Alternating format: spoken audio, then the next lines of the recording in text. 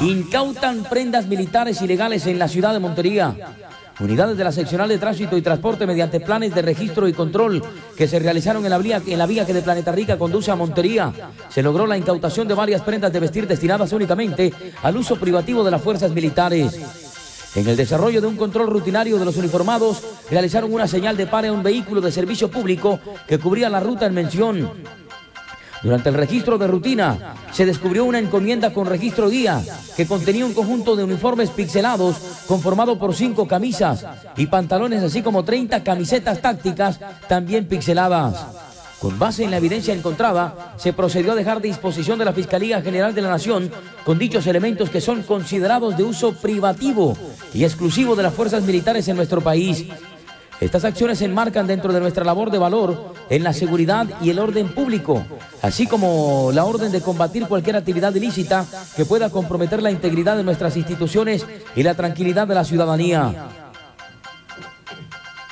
Las 5 de la mañana, 17 minutos. 5 de la mañana, 17 minutos.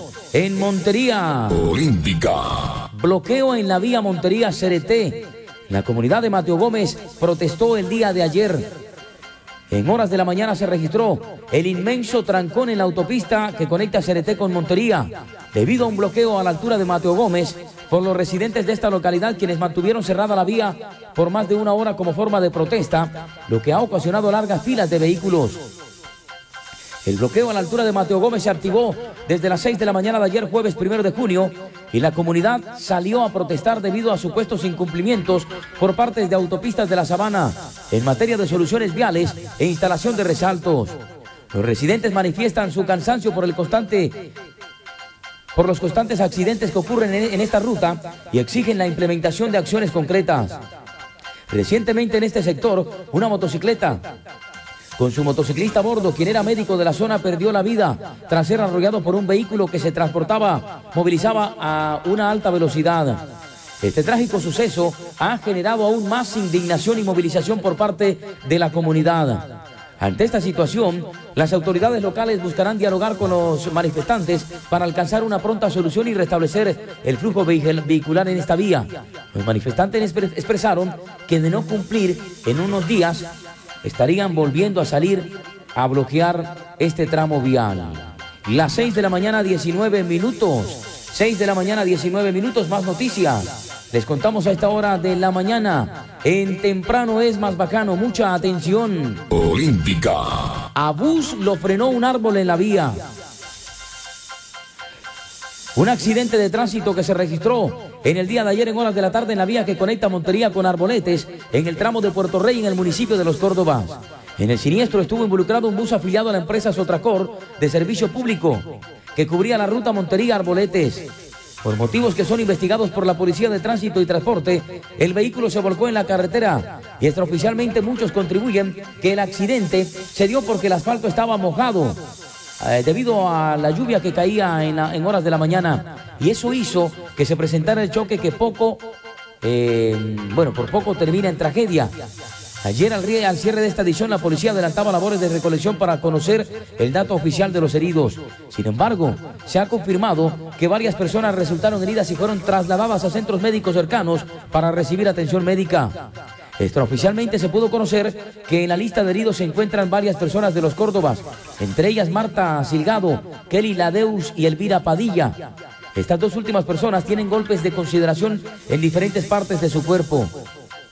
Pero afortunadamente no hay personas eh, o pérdidas de vidas humanas.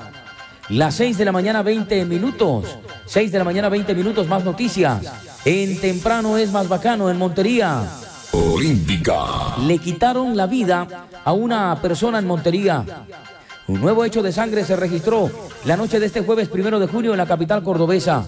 El crimen tuvo lugar en el barrio Villacielo cuando dos sicarios en motocicleta llegaron hasta el establecimiento comercial en el sector de esta localidad y el parrillero de la motocicleta desenfundó un arma de fuego y le propinó varios impactos de bala al hombre que quedó tendido en el lugar. De acuerdo a las primeras informaciones, se trataría del dueño de un negocio de gaseosas en Villacielo, quien quedó tendido en una silla.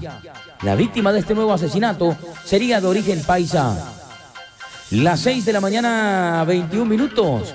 6 de la mañana, 21 minutos, más noticias.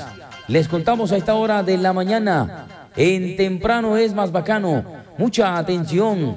Las noticias de Olímpica. Olímpica. Vecinos de una, un barrio en Magangué hallaron sin vida a una mujer de 82 años de edad en, al interior de su vivienda.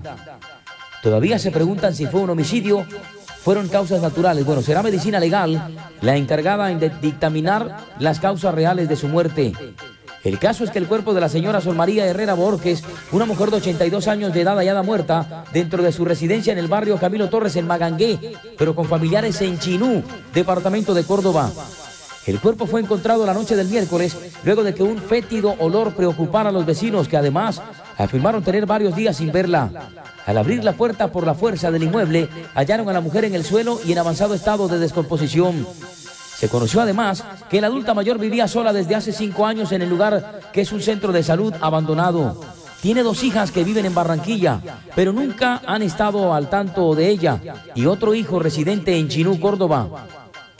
Personas que entraron a la residencia dicen que la mujer tenía una herida abierta en una de sus piernas y que en el cuello le hallaron una pañoleta, por lo que no se descarta que una se haya sido su muerte por ahorcamiento. Añadieron además que en ese sitio era frecuentado por personas drogaditas por estar abandonado, por lo que creen que pudo ser uno de esas eh, personas que frecuentaba el lugar. Las 6 de la mañana, 23 minutos. Nos vamos a Lorica. Olímpica. Sujetos armados acabaron con la vida de un hombre en Lorica. La tarde del pasado 31 de mayo fue asesinado un hombre identificado como Deinker de Jesús Polo Peñata. Sujetos armados abrieron fuego contra la humanidad de este hombre hasta dejarlo sin vida.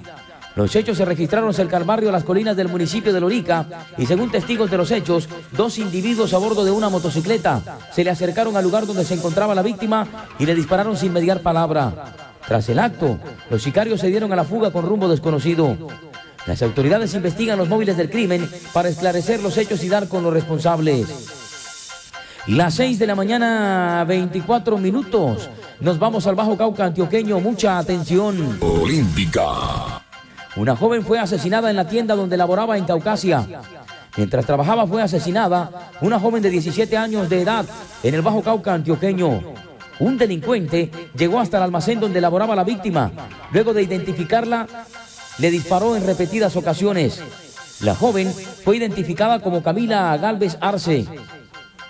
Los hechos ocurrieron el pasado miércoles en un establecimiento comercial ubicado sobre la troncal de Occidente, donde la menor de edad se desempeñaba como cajera. Hacía más o menos unos tres meses informaron medios locales.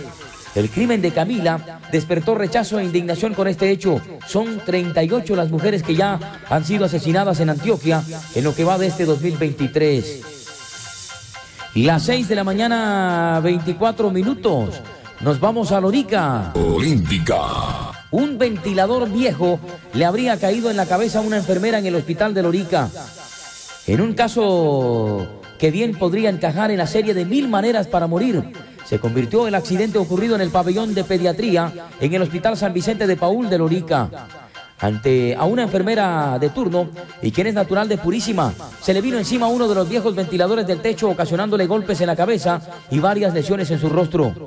La enfermera debió ser atendida de urgencia y de allí salió incapacitada mientras en los pasillos de, se comentaba que algún día cualquiera lo que se podría venir al suelo es uno de los viejos techos de concreto de los eh, muchos que hay en mal estado en este hospital.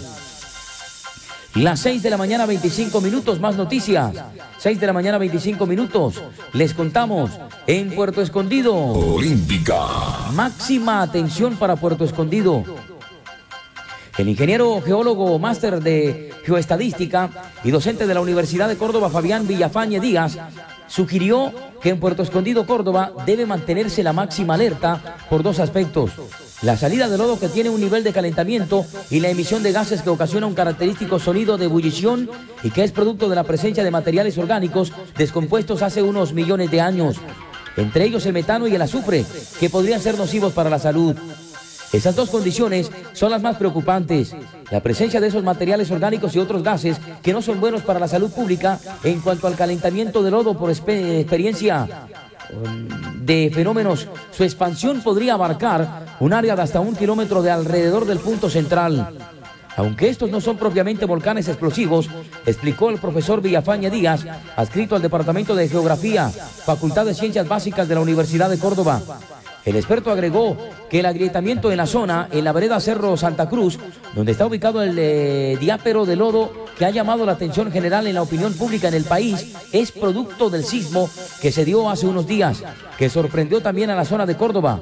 Agregó que deberán las autoridades definir allí acciones de ingeniería o manejo de obra civil para restablecer el terreno, aunque la geología no permita establecer cuándo se terminará este fenómeno, este y dictaminar la máxima alerta en esta localidad.